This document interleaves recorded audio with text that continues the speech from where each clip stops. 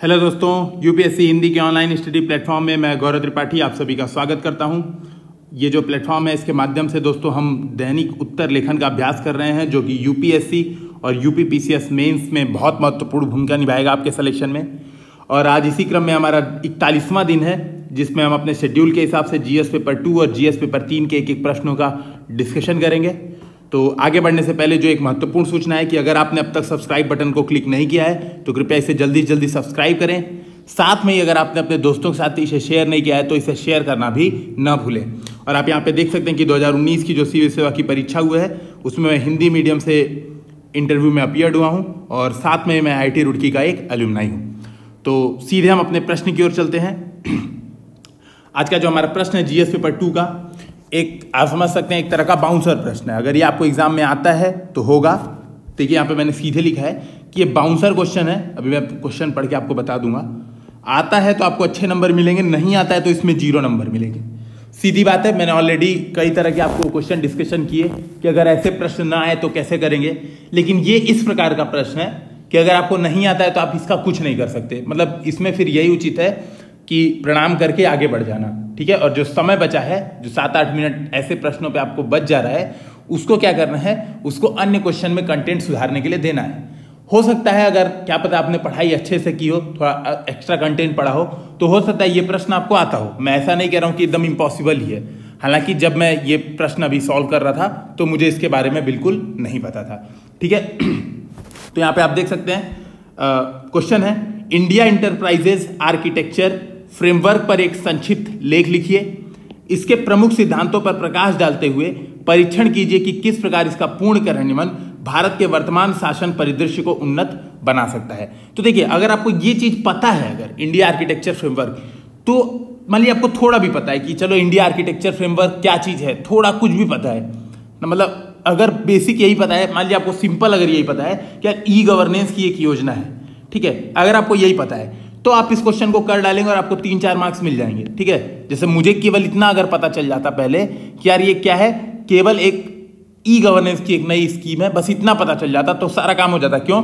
E governance की नई scheme होगी तो उसका पूर्ण कार्यान्वयन भारत के वर्तमान शासन परिदृश्य को किस प्रकार उन्नत बनाएगा, ये बात मैं लिख लेता आराम से, ठीक है? इस पर संक्षिप्त लेख का ये पार्ट थोड़ा सा छोड़ देता, बस केवल लिख लेता यही लिख देता कि यार गवर्नेंस की एक योजना है और इसका उद्देश्य है सिटीजन से, जो भी एक दो कीवर्ड्स मुझे याद रहते हैं सेकेंड ए वाले, कि सिटीजन केंद्रित मतलब नागरिक केंद्रित या सिटीजन सेंट्रिक प्रशासन उपलब्ध कराना, सुशासन की व्यवस्था करना, एक दो में फट्टे, जो इसको हम, जो अपने शुद्ध भाषा में कहते हैं, फट्टेबाजी करना, थोड़े फट्टेबाजी करके एक संक्षिप्त लेख लिख देता। प्रमुख सिद्धांतों पर प्रकाश क्या डालता? वही जो नेशनल ई गवर्नेंस योजना आपने पढ़ी होगी एनईजीपी सेकेंड ए में। एनईजीपी के बारे में दो, दो चार चीज़ें जो पता थी अंतर प्रचालनीयता ठीक है पुनर्प्रयोज्यता वही सब दो चार में सिद्धांत डाल के लिख देता आंसर लेकिन मुझे ये भी नहीं पता था इस प्रश्न में कि यार ये ई गवर्नेंस की एक योजना है। तो मैं पहले आपको बेसिकली समझा देता हूँ ये है क्या। तो देखिए सिंपल सा मैं आपके सामने एक उमंग पोर्टल खोलता हूँ। यहाँ पर देखिए, यहाँ पे ये उमंग ऐप है, ये ऐप खोलेंगे आप तो देखेंगे यहाँ पर उमंग ऐप। यहाँ पर आप देखेंगे, क्लियर लिखा हुआ है, प्रधानमंत्री आवास योजना, आयुष्मान भारत योजना। आप ऑल सर्विसेज़ पे क्लिक करिए तो यहाँ पर देखिए ऑल यहाँ पे काफ़ी लिखा हुआ है सेंट्रल स्टेट ठीक है? यहाँ पे ढेर सारी सर्विसेज़ दी हुई हैं। और आप यहाँ पे अगर स्टेट में सर्च करेंगे तो स्टेट में आपको देखेंगे लाइन से सारे स्टेट का नाम आ जा रहा है, ठीक है? यानी उमंग पोर्टल बेसिकली क्या है? एक सिंगल प्लेटफॉर्म है, ठीक है? एक सिंगल प्लेटफॉर्म है और इस सिंगल प्लेटफॉर्म के माध्यम से आप क्या कर रहे हैं? कोई भी सर्विसेज़ चाहे वो स्टेट की हो या फिर वो किसी जो मतलब आप कह सकते हैं स्टेट की हो या फिर कोई और मतलब जो भी राज्य सरकार हो या फिर केंद्र सरकार की, कोई भी स्कीम को ये क्या कर रहा है? एक सिंगल प्लेटफॉर्म पे प्रदान कर दे रहा है। तो इंडियन आर्किटेक्चर फ्रेमवर्क आप समझिए एक तरह से उमंग पोर्टल ही है। हालाँकि उमंग पोर्टल पूरी तरह से इंडियन आर्किटेक्चर फ्रेमवर्क नहीं है। बेसिकली इंडियन आर्किटेक्चर फ्रेमवर्क जिसको हम इंड ये लिख रहे हैं, ये है क्या? इसके माध्यम से आपको एकीकृत सेवाएँ मतलब आपका देखिए क्या होगा? एक आपका खाता होगा, ठीक है? एक सिंगल खाता होगा हर व्यक्ति का, हर बिज़नेस का भारत में। एक खाता चाहे वो बिज़नेस हो, ठीक है? या फिर व्यक्ति हो इंडिविजुअल हो। इसका खाता होगा, इसको क्या करना है? एक पोर्टल होगा इसके पास। एक पोर्टल पे अपना रजिस्टर करा देना है इस व्यक्ति को और बिज़नेस को। यहाँ पर उसको गवर्नमेंट से सारी सेवाएँ मिल जाएँगी।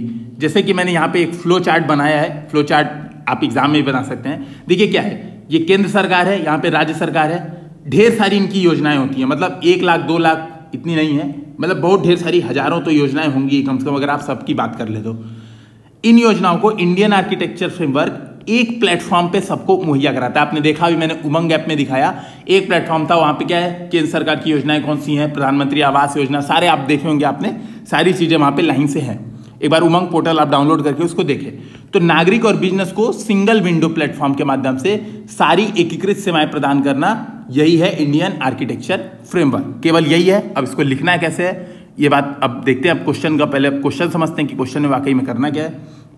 ठीक है तो देखिए क्वेश्चन समझने से पहले आ, मैंने ये तो बता दिया क्वेश्चन पढ़ दिया। इस बात को ध्यान में रखिए आप जो भी नीचे कमेंट सेक्शन में डाउट पूछते हैं हालाँकि अब डाउट्स कम आने लगे हैं और अब मुझे उम्मीद है कि आप लोग प्लेलिस्ट देखना चालू कर दिए हैं ठीक है? आपको क्या करना है? प्लेलिस्ट एक बार अवश्य खोलना है फिर भी मैं कुछ दिन तक अभी ये जो सूचना है वो लगातार जारी रखूँगा जब तक वो प्रॉब्लम पूरी तरह से समाप्त हो जाए।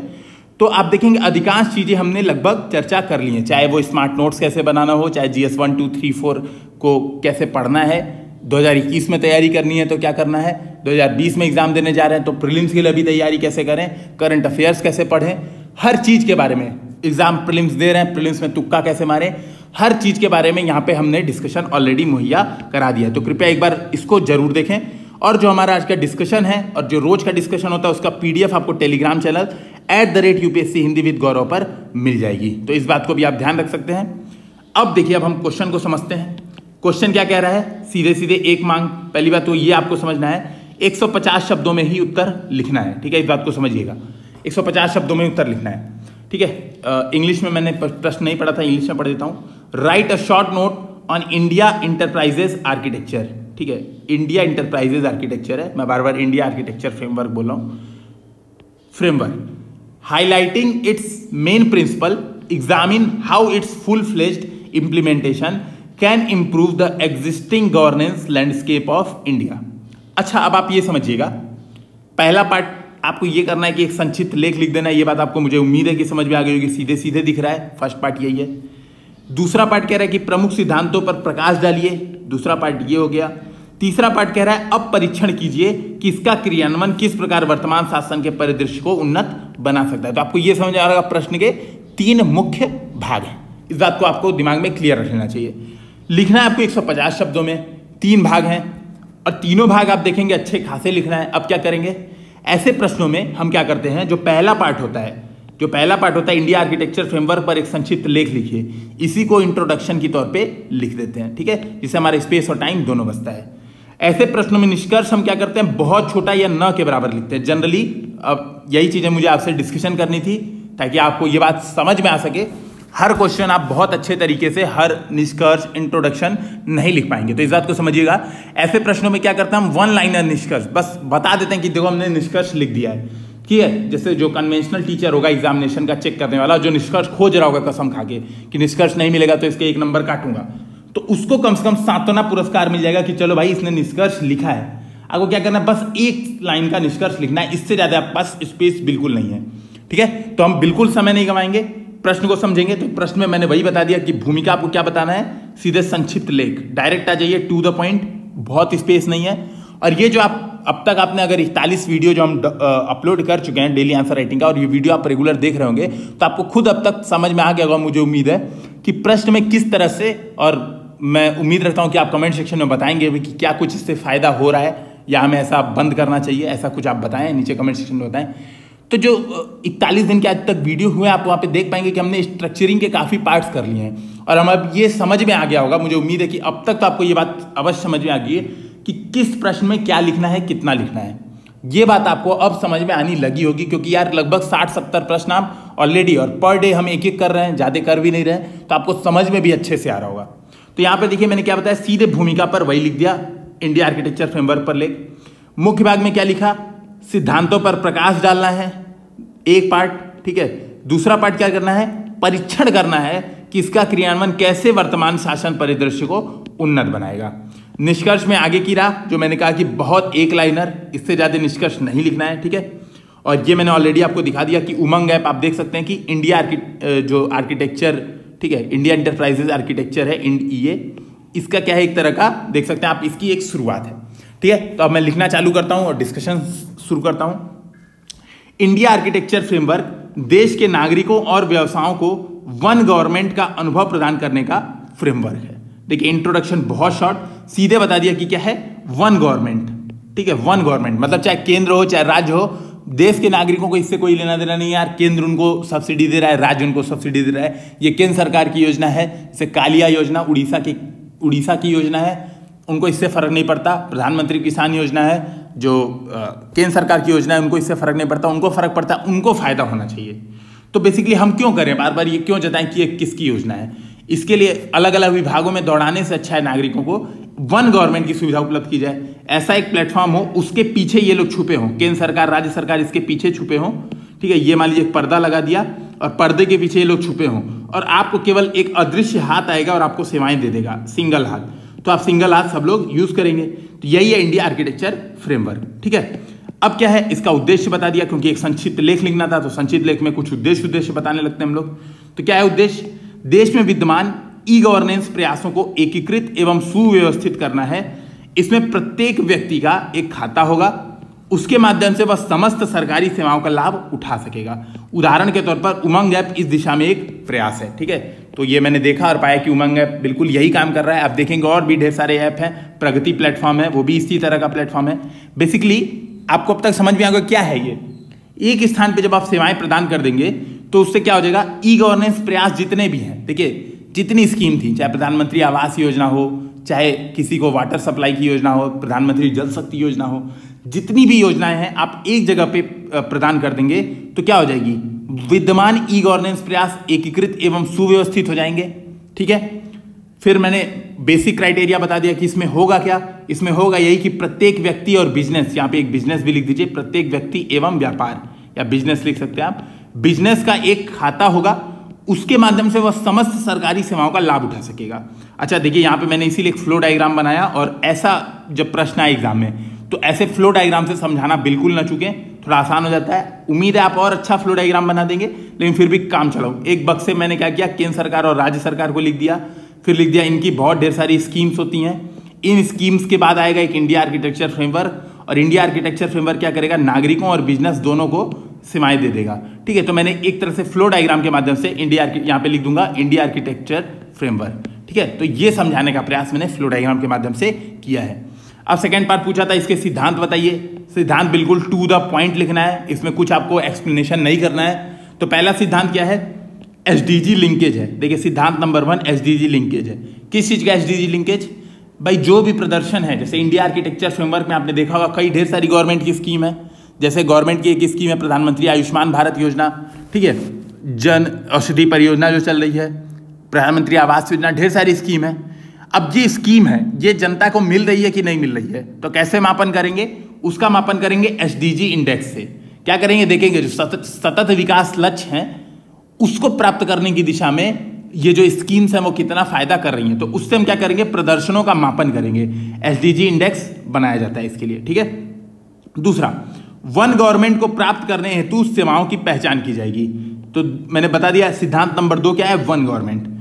इसको प्राप्त करने के लिए क्या किया जाएगा? सेवाओं की पहचान की जाएगी ये देखा जाएगा कि यार ऐसी कौन सी सेवाएँ हो सकती हैं जो इस प्लेटफॉर्म के माध्यम से प्रोवाइड की जा सकती हैं। जैसे वही विद्युत, जल, पानी बेसिकली क्या किया जाएगा? पहले ऐप बना देंगे, ठीक है? हम ऐसे करेंगे, आप इसको समझिए, जैसे प्रगति प्लेटफॉर्म है, ठीक है? प्रगति प्लेटफॉर्म है, ठीक है? प्रोग्राम इम्प्लीमेंटेशन समथिंग ऐसे करके कुछ फुल फॉर्म है। इसमें क्या करती है? केंद्र सरकार देखती है कि योजनाओं का क्रियान्वयन हो रहा है कि नहीं हो रहा है। अब क्या किया गया है? इसमें राज्य सरकारों को और स्थानीय सरकारों को भी इंटीग्रेट किया गया है। ठीक है, उमंग ऐप भी आप देखेंगे तो उमंग ऐप भी राज्य सरकार और जो स्थानीय सरकार है, इसको इंटीग्रेट किया गया है। तो पहले हम क्या करते हैं? एक ऐप बना देते हैं मोबाइल ऐप बना देते हैं। इसके बाद राज्यों को और स्थानीय सरकार को उसमें ऐड ऑन कर देते हैं। तो इससे क्या होता है? हमें पता चल जाती है कौन सी सेवाओं की हम प्रदान करने वाले हैं इसके माध्यम से। ठीक है तो उन सभी सेवाओं की पहचान की जाएगी कि कौन कौन सी सेवाएँ हैं जो इसके माध्यम से दिया जाएगा। जैसे एक दो एग्ज़ाम्पल और बताता हूँ। जैसे आप केरल सरकार की आपने सुना होगा फ्रेंड्स स्कीम है ई गवर्नेंस की। ठीक है? इसी प्रकार से लोकवाणी स्कीम है। अब ये देखिएगा आपको एक काम करना है। लोकवाणी शायद यूपी सरकार की है और ज्ञान दूत राजस्थान की है। आपको ये दोनों चेक करना है कि ज्ञान दूत और लोकवाणी किस मतलब राज्य की ई गवर्नेंस योजना है। मुझे याद है, मैं जानबूझ के कंफ्यूज करा रहा हूँ आप लोग को, ताकि आप लोग एक बार गूगल पर सर्च मारेंगे, ये दोनों तो आपको डिटेल में पता चलेगा। और जब आप एग्ज़ाम्पल में कोट करेंगे तो उसको पता चलेगा।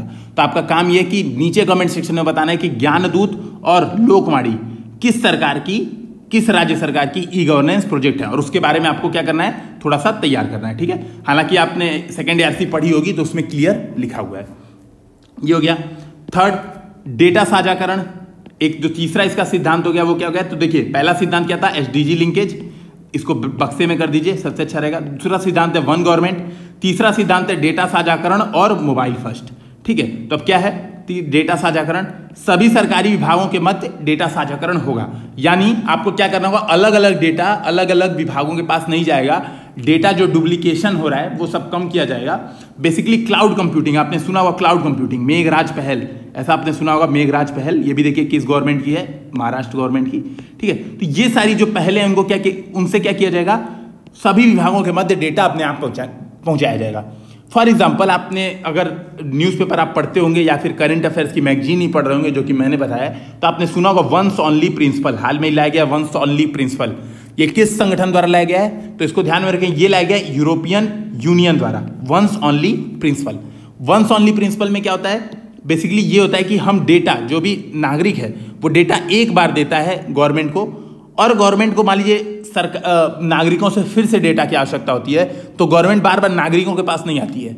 अपने जो डिपार्टमेंट है, उनके बीच में डेटा अंतर विभागीय प्रचालनीयता होती है, और डेटा अपने आप पहुँच जाता है। ठीक है? तो बार बार जनता को परेशान करने से अच्छा है, आपस में ही डेटा का स्थानांतरण हो जाए।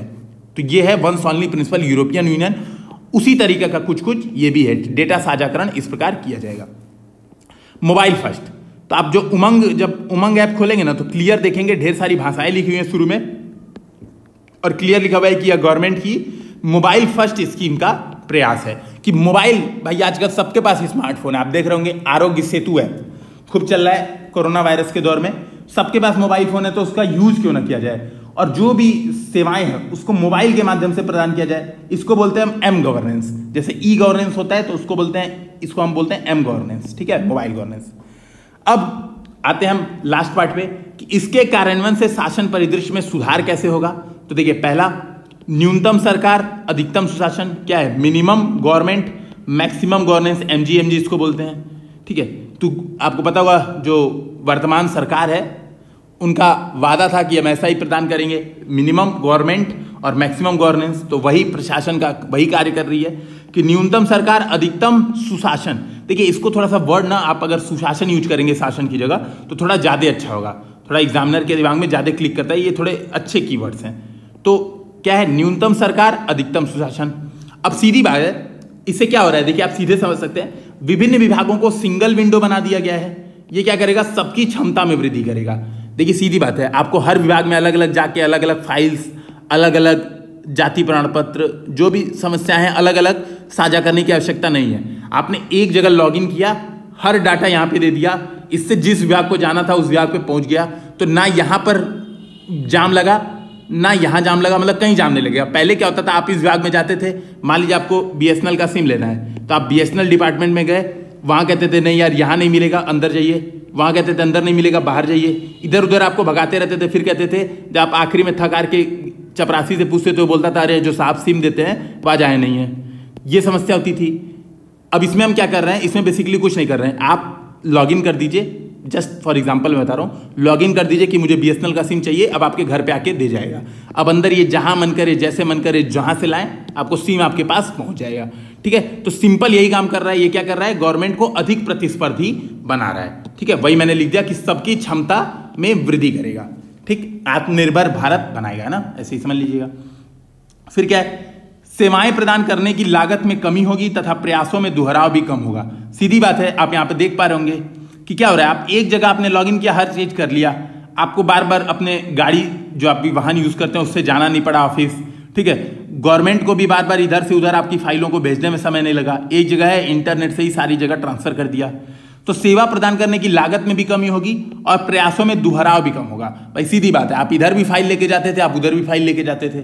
सबसे बेस्ट एग्ज़ाम्पल इसका क्या है? आरटीआई एक्ट आरटीआई एक्ट में अब कैसा प्रावधान है? आप कहीं भी, जहाँ मन करे, जिस विभाग में मन करे, आप एक बार आरटीआई फ़ाइल कर दीजिए। उस विभाग से जो उचित डिपार्टमेंट होगा जहाँ से आरटीआई मिल रही है, उसमें अपने आप फ़ाइल पहुँच जाएगी। ठीक है तो दोहराव सेवाओं में कम हो रहा है। तीसरा, नागरिकों बिज़नेस एवं सरकार के मध्य तीव्र सूचना आदान प्रदान से उत्पादकता में वृद्धि। और ये आप समझ सकते हैं, क्यों बोल रहा हूँ? क्योंकि मुकेश अंबानी कह चुके हैं डेटा इज़ न्यू ऑयल ठीक है, ऐसा बोल चुके हैं। अब ये समझिएगा, ये बात क्यों बोली गई? डेटा से क्या होता है? अब डेटा आपके पास पता है, जैसे मुझे पता है, मान लीजिए फॉर एग्ज़ाम्पल मुझे पता है कि यार ये जो मेरा चैनल है यूट्यूब पे, और मैं डेटा रेगुलर देखता हूँ, मैंने आपसे ऑलरेडी बोला है कि मैं एनालिसिस खूब करता हूँ। मैं देख रहा हूँ कि आंसर राइटिंग की जो रीच है वो धीरे धीरे बढ़ रही है। धीरे धीरे ज़्यादा लोग आंसर राइटिंग देख रहे हैं, ठीक है? और लोग पसंद आंसर राइटिंग ज़्यादा कर रहे हैं। तो मैं क्या करूँगा?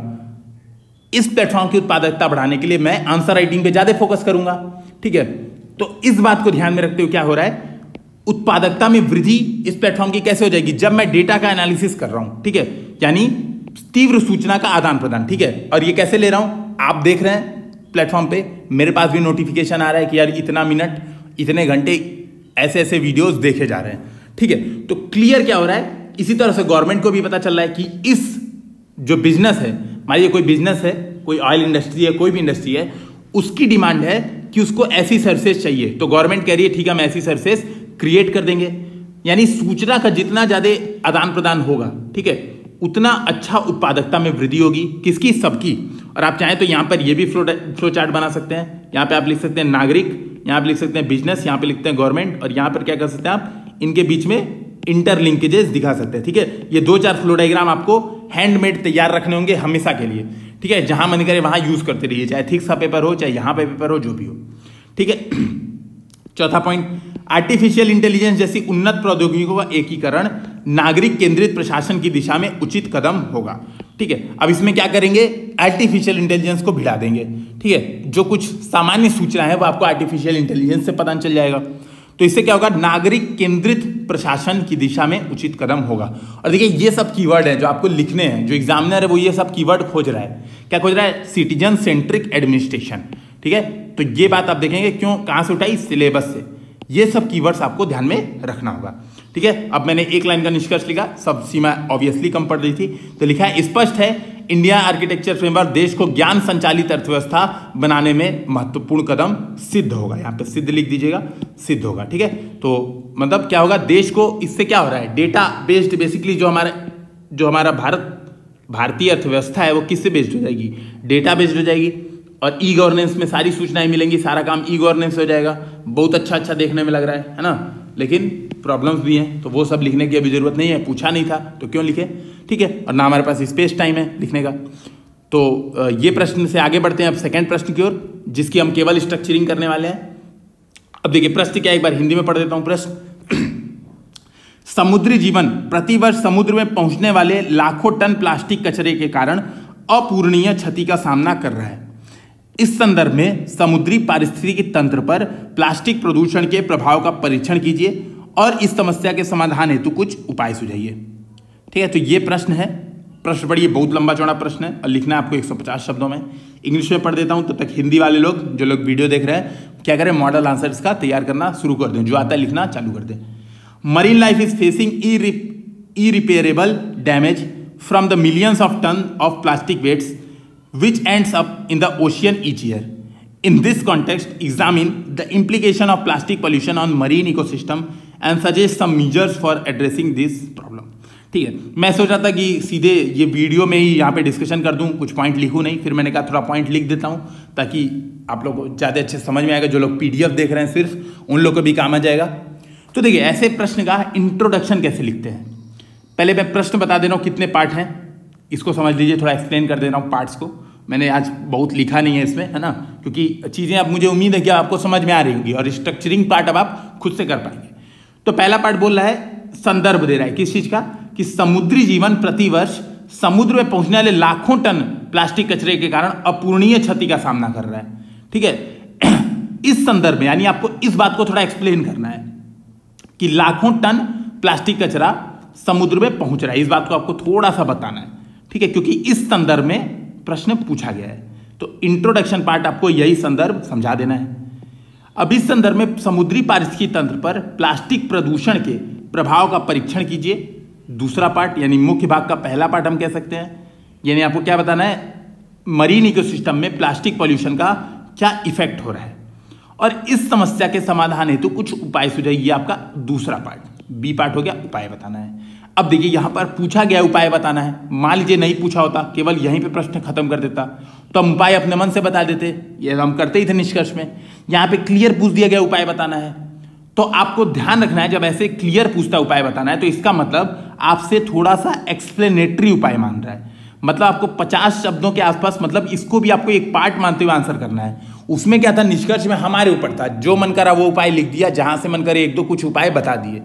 यहाँ पे आपको प्रॉपर सोल्यूशन देना है, अच्छे खासा पचास साठ शब्दों में सोल्यूशन देना है। इसके साथ ही जब ऐसा क्लियर पूछ देता है कि उपाय बताइए तो आप क्या बता सकते हैं? साथ में निष्कर्ष में कुछ सरकारी स्कीम्स को बता सकते हैं कि ऐसी स्कीम्स चलाई जा रही है, जैसे यहाँ पर मरीन इकोसिस्टम के लिए ब्लू फ्लैग सर्टिफिकेशन आपने सुना होगा। इसके अलावा आपने क्लीन सीज कैंपेन सुना होगा। ठीक है? आपने ये सुना होगा कि भारत सरकार ने सिंगल यूज़ प्लास्टिक को बैन कर दिया है। तो दो चार चीज़ें जो आपको पता है, आप क्या बता सकते हैं कि ऐसा ऐसा प्रयास किया जा रहा है, ठीक है? मरीन इकोसिस्टम को बचाने के लिए।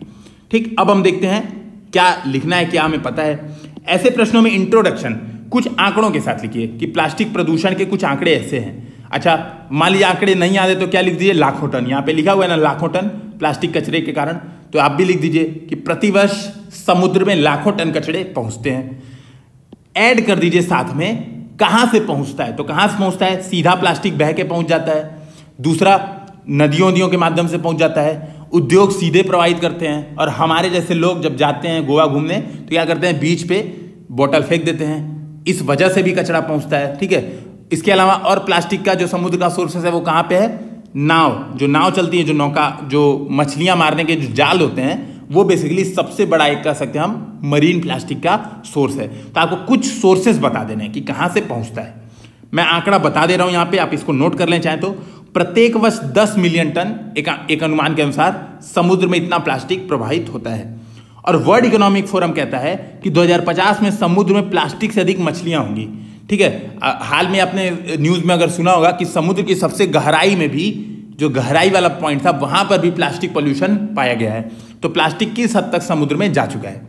और ये जो प्लास्टिक होता है बेसिकली माइक्रो प्लास्टिक के रूप में होता है। ठीक है? इस बात को आप थोड़ा सा पढ़ेंगे। डिटेल समस्या आप थोड़ा सा डिटेल में पढ़ेंगे। मैं एक्सप्लेन नहीं करूँगा। कुछ जो चीज़ें आपको ध्यान में रखनी है, आंसर लिखते समय जो होना चाहिए आंसर में, प्रेजेंट और examiner खोजेगा। GP GP, great pacific garbage patch की चर्चा अवश्य करनी है। और ग्रेट पैसिफिक गार्बेज पैच क्या है? ये बेसिकली आप, आपने सुना होगा, जो उत्तरी प्रशांत महासागर है, जापान के आसपास का तट, वहाँ पर क्या है? एक जायर है। ठीक है, प्रशांत महासागरी जो जायर है, उसके बीच में माइक्रो प्लास्टिक का बहुत सारा ढेर है। माना जाता है दुनिया का सबसे विशाल प्लास्टिक का यहाँ पर ढेर है। और ये प्लास्टिक पोल्यूशन का सबसे बड़ा एग्ज़ाम्पल आपके सामने रखता है। ठीक है तो जो एग्जामिनर है वो ग्रेट पैसिफिक गार्बेज पैच अवश्य आपके प्रश्न में खोज रहा होगा। आपको ये बताना ही था, सिंगल यूज़ प्लास्टिक पर बैन कर दिया गया है। क्लीन सीज अभियान और ब्लू फ्लैग सर्टिफिकेशन मैं ऑलरेडी बता चुका हूँ। अब हम देखते हैं समुद्री पारितंत्र पर प्रभाव। यही प्रश्न की विशेष मांग है कि समुद्री पारितंत्र पर प्लास्टिक पोल्यूशन के प्रभाव। तो देखिए, आप बेसिकली ऐसे प्रश्नों में क्या सकते हैं? समुद्री पारितंत्र पर प्रभाव कैसे लिख सकते हैं आप इसके आंसर को? ऐसे लिख सकते हैं। समुद्री जीवों पर प्रभाव, ठीक है? ऐसे एक हेडिंग डाल दीजिए, समुद्री जीवों पर। अब इनको क्या लिख दीजिए? सीधा, भाई जो आप देखोगे, कई मछलियाँ होती हैं खा खा के मर जाती हैं वेल मछली आपने देखा होगा। हाल में न्यूजीलैंड के तट पे मिली थी, उसके पेट में कई किलो मतलब कई सौ किलो प्लास्टिक मिला था। इसका कुछ एग्ज़ाम्पल डाल दीजिए।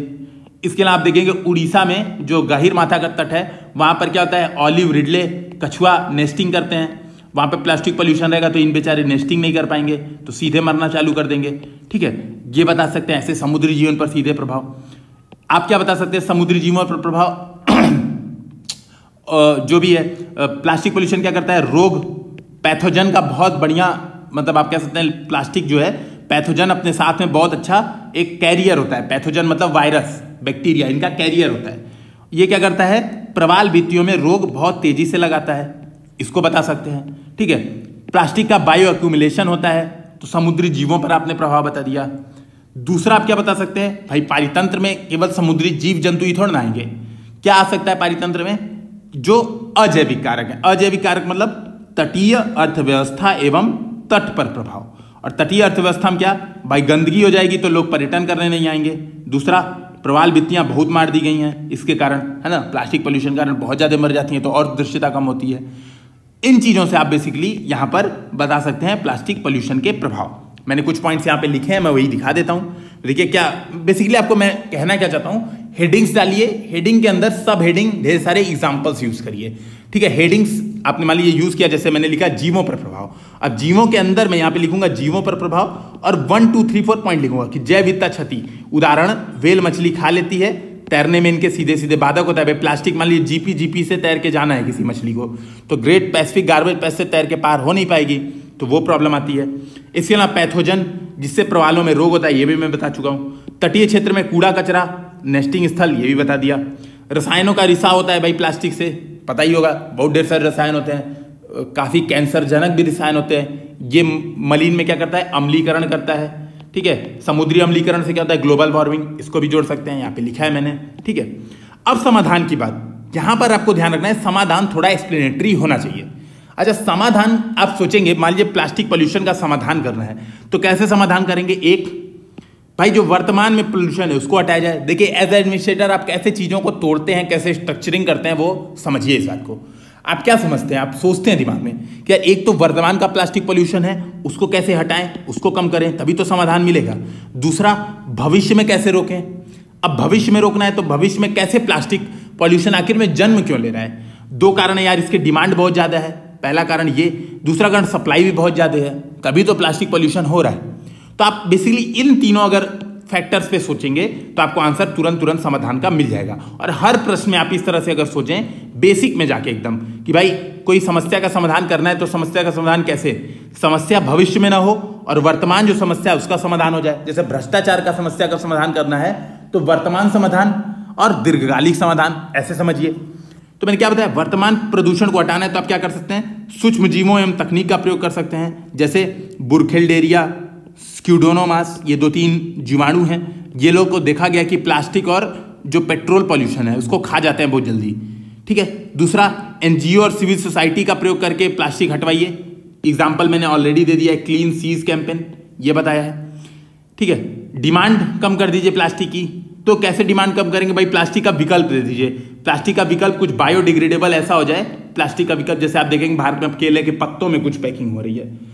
इस तरह का कुछ विकल्प दे दीजिए, जूट, है ना? इस तरह का कुछ विकल्प दे दीजिए। इंफॉर्मेशन एजुकेशन कम्युनिकेशन कैंपेन चलाइए, ताकि लोग कम यूज़ करें प्लास्टिक ठीक है?